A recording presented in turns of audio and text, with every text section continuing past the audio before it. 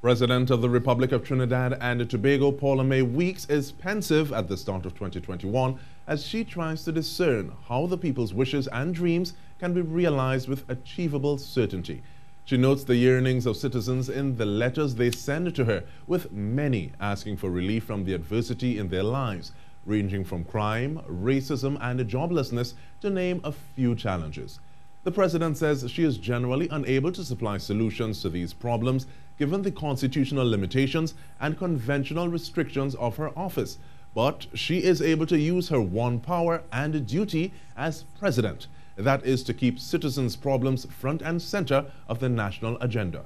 The president tells leaders that transparency and truth must prevail in the formulating and execution of national plans.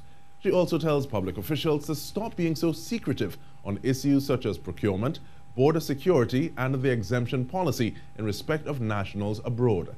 Meanwhile, she encourages all citizens, including those who find themselves in challenging circumstances, to be optimistic and to have a safe, healthy, and happy new year.